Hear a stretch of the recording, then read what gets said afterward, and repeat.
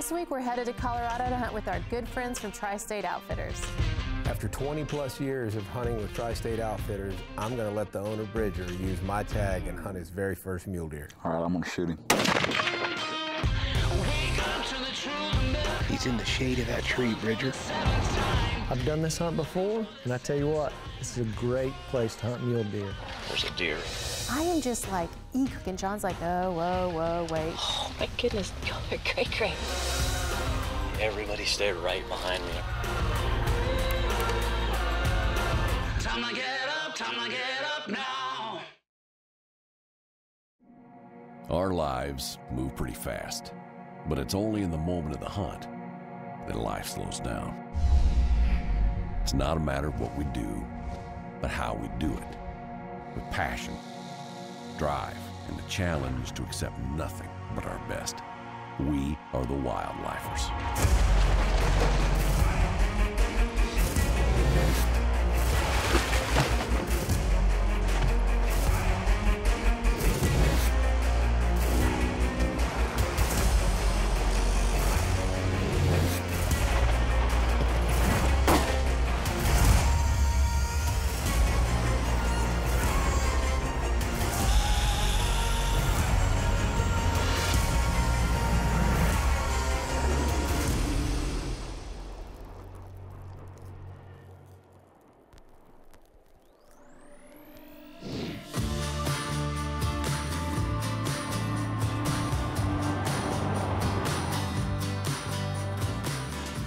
Excited to be in Colorado this week. I just, the weather's great. I love this area. It's beautiful. I have big hopes of getting the biggest mule deer I've ever had.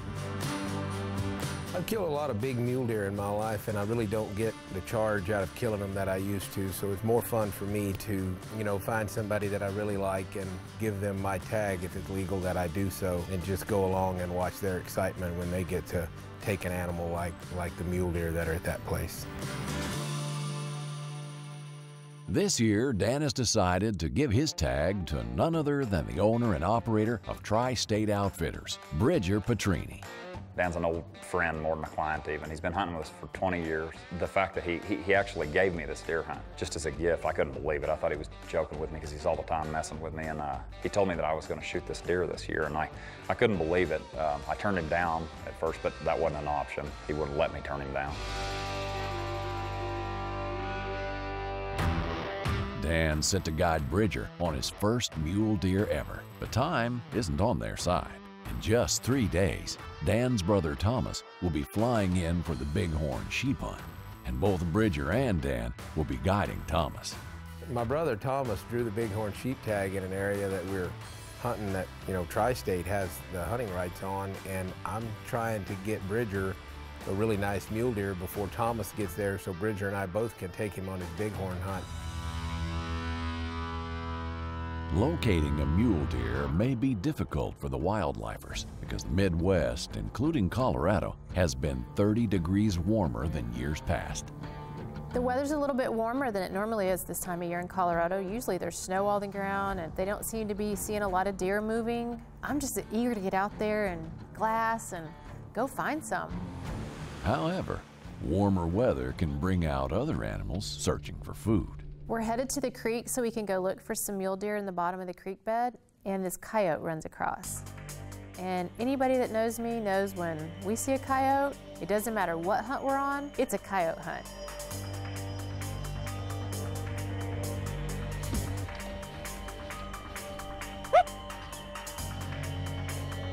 I'm ready to just like pull the trigger, and they're like, wait, wait, wait, wait, there's a mule deer. And I'm like, but there's a coyote. There's like, no, there's a gigantic mule deer walking right behind it. There's a deer right behind Yeah, it. that's what I was just looking at. And there's a mule deer just walking in the background. It was kind of funny. That's Stephanie for you. She's got a trophy class mule deer buck standing right in front of her, and she can't stop looking at the coyote. Better Decent wait, buck. Stephanie. Looks like a decent buck. The buck ended up cruising down in a creek bottom before John could get a good look at him. So they drive to the other side of the creek to relocate the buck. Really good Take buck. my eyes off the coyote, I'm sorry. It's okay. There's a, that's pretty funny though. So we're driving along, and sure enough, that buck, he pops up, and he is just right there. Let's shoot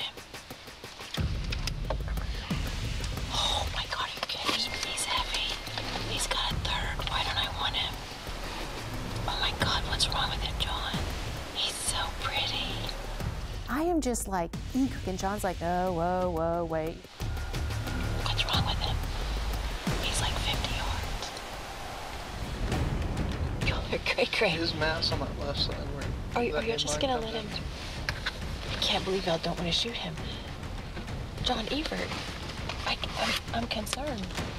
He's not crazy wild, is he? I'm busting at the seams here. I'm ready to shoot this buck. I just need my guy to say, okay.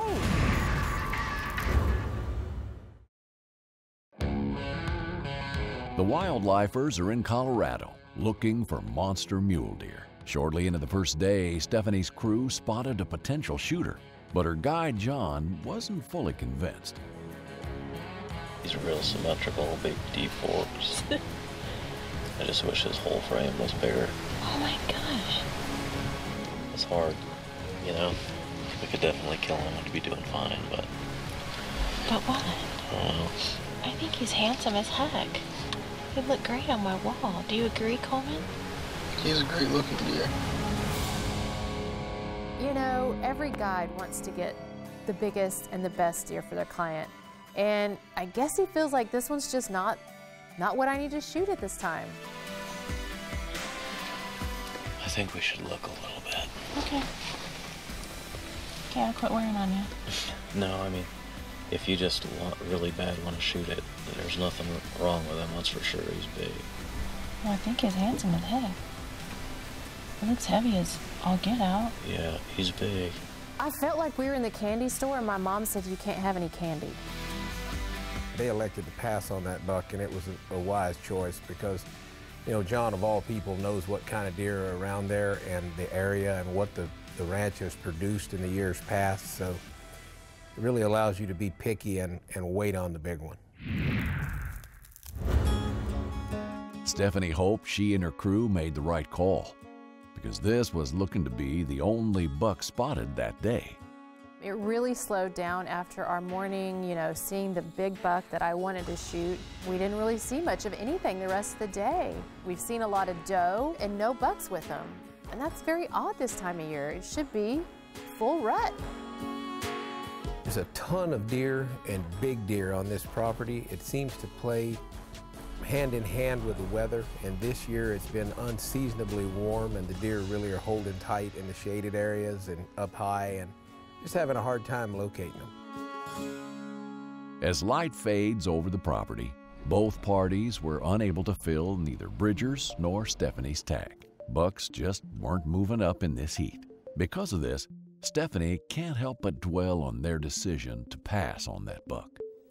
We haven't seen that many bucks at all. It's been kind of quiet, extremely slow, and I think I might have convinced John that we should have shot that buck that I wanted to shoot. So maybe, just maybe, I've got him convinced. So let's go, go try and find him again. A revised plan to try and relocate Stephanie's buck in the morning couldn't have been a better decision because a cold front is projected to blow through Colorado overnight, which should get these bucks turned back on.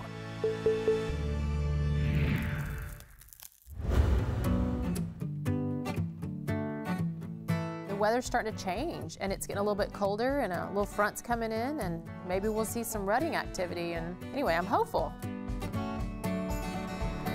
See, everything's different.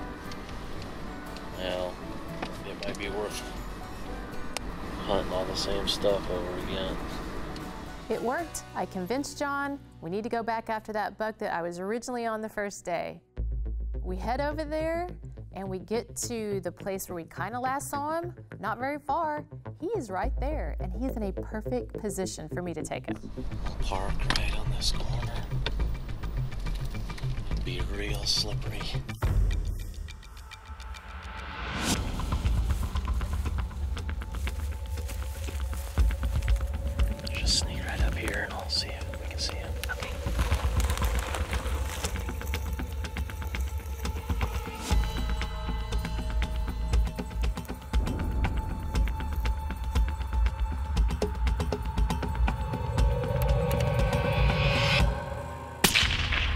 Hit yeah. him again. Yeah. Him again. There you go. Got him. I felt confident that the shots that I made on this buck, and sure enough, there he was.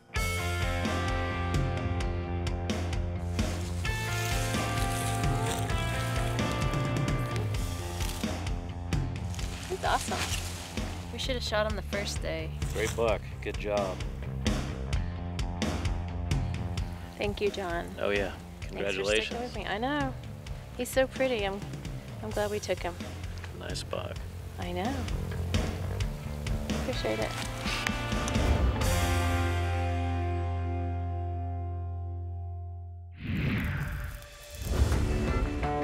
Well, I got a text that Stephanie got a buck. John was excited in the text, so I know it's going to be a beast. But Bridger and I still haven't been able to find one, and we are running out of time really quickly because Thomas will be here very soon, and we've got to both put this hunt on pause just so we can head to the other area and take Thomas on the bighorn hunt.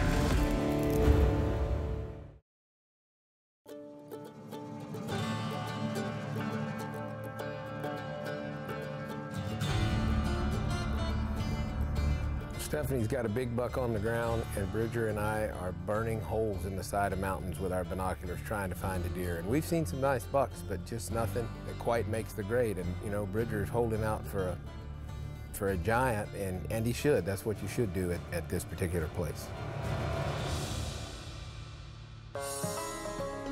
Although the entire crew teamed up to get Bridger a buck, they were unable to glass one up before Dan's brother Thomas arrived on the ranch. Now the focus turned to getting Thomas a bighorn sheep. Well, with everybody there mule deer hunting, we all drove out to the flatlands, on, you know, below the mountain when Thomas arrived to go on his hunt. I've always been wanting to go sheep hunting, and Bridger and I've been visiting about it for several years. And he called me one day and told me he'd finally gotten a tag for one, and told me it was mine if I wanted it. So I jumped at the opportunity.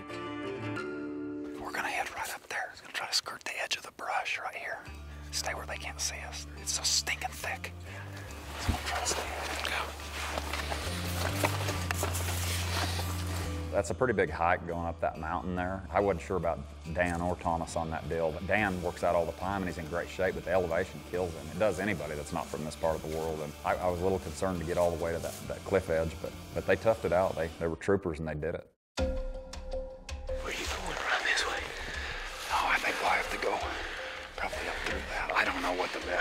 Best option is. I just don't want to get into that real thick stuff because we're getting closer to. We were only 540 yards from that opening. The last Are place. they around there or over here? No, they're over there. We got this in between us now, but with now we're gonna have to start. I think you go that way, bud. You're gonna be 400 yard shot.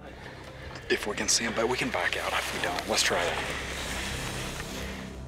The sheep are in an area on the side of the mountain where it made it really difficult for us to, to get up there without being seen. We had to use a lot of thick brush to get up to the area where we were at least on the same plane with them to try and get a shot from across the canyon. They're right there. They're 280 yards right there. Can you find a place to stake in there and shoot? We might be able to do it. Do you- Are you right on sticks? or Would you rather go prone, or what would you want to do? I'm not on sticks. Okay. With the sun setting quickly, Bridger's able to get Thomas into position just as the sheep bed down. It's the one on the left, so I want you to far left. Far left. There's four rams. I want you to count four and get the one on the left. Don't shoot. Okay. You know, the sun is fading and fading fast. The rams are bedded on the other side of this canyon and about, I think they were 250 yards away.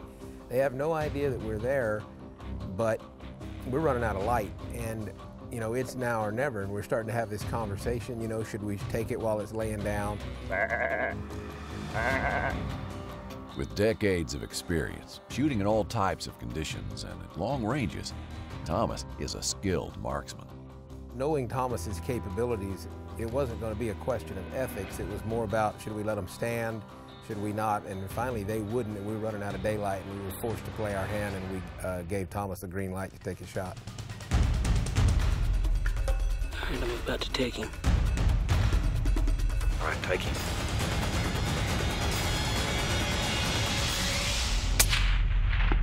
Good shot. Reload, reload.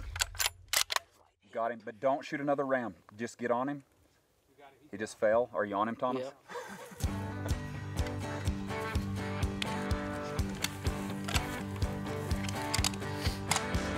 hey, good work, man. Good shooting, too. That's a heck of a ram. Thanks for, thanks for using Wow. We finally found the Braman that can shoot a rifle. It was like awesome whenever I saw the other ones run off and I saw him limping off and then when he went down, it was just an incredible feeling. You can't ever tell actually how massive they are and when you walk up and you're starting to see like, wow.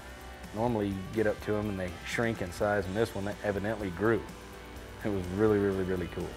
Oh, what an incredible, incredible animal, seriously. That is truly amazing. I, I had no idea it was even that big. They're so beautiful, and he's so chocolate colored anyways. He's, he's, darker than all the rest of the rams. It just was unbelievable. To actually have my hands on him was, it was very, very special. We went through a lot of struggles and different things to get all that done and worked very, very closely with Division of Wildlife in Colorado. And a lot of people put a lot of effort in, into getting that sheep tag, so it was amazing. It was just amazing to be able to finally put my hands on him. Bridger did a fantastic job going after this sheep. He's always going to get the job done. Now that he's gotten such a big ram for Thomas, I really feel compelled to get him a, a big mule deer now.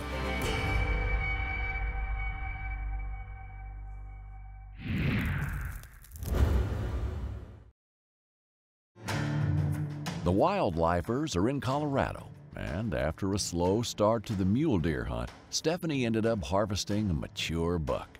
On the other hand, Dan and Bridger halted their hunt, so Bridger could guide Dan's brother Thomas on a bighorn sheep which was successful. Now, with one day left, the entire team has come together to try to get Bridger his first mule deer ever. Well, our success on this trip has been absolutely remarkable, but Bridger doesn't have a buck, and we've got one day to get it done, so we got to make it happen today. With everybody looking for a buck for Bridger, it didn't take long for us to find one. We just had to put a really short stalk on this buck, and he showed up out of that draw and it was on. He's in the shade of that tree, Bridger. Where's he at, man? I can't see him. He's in the shade of that pine. There he goes. He's running down the draw, going to the right and up. Do you see him?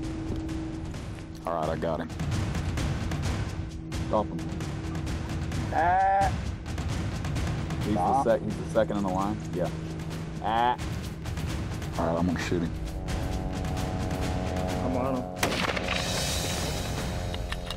Just over him, reload. He's running to the right. He split off from the other ones. He's going to the right. He's slowing down, Bridger. He's gonna stop. I'm on him again. Hit him. Once he regrouped and made his second shot, he made a perfect shot on him and he got him. So we saw him go down into a draw and uh, walk down there, and sure enough, he took going down into to the draw into a new level. He actually went right down in and died in the water, in the stream. That was really cool. When we recovered him, uh, he fell in that creek. It's just a big spring-fed creek, and uh, that was the first deer I think I've ever had go into the water like that. I've had other, other animals do that, but it was beautiful actually, how he was laying in that flowing current, and it, it was gorgeous. Pretty cool, Dan. Yeah, man. I think that's the first deer I've ever had die in water. I think. That's the first mule deer I've had die in the water. Mm -hmm. That's your first mule deer to ever shoot. It is. That's it crazy. It is, yeah. Yeah, I killed whitetails and yeah, and uh, a couple elk. That's yeah. the thing, you know how it is, God. You don't you don't hunt much. No. They love it. This is my first mule deer. And a lot of people think I'm lying when I tell them that, but we don't, we don't hunt. All we do is guide, and that's all I've done since I was 17 years old. Uh, so I, have actually done very little personal hunting. The gratitude that I have and the appreciation that I can't really describe. I can't put into words.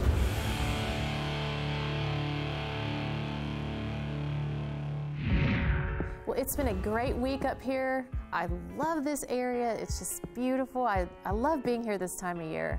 It was just a perfect week when a friend like Bridger gets to get a deer, my wife Stephanie gets to get an absolute monster like the one she got, and my brother Thomas got to fulfill a dream of getting one of the most coveted sheep there are. I just can't imagine how this hunt could have been any better. You know, it was a little bit more difficult than years past, but that in and of itself made it even sweeter.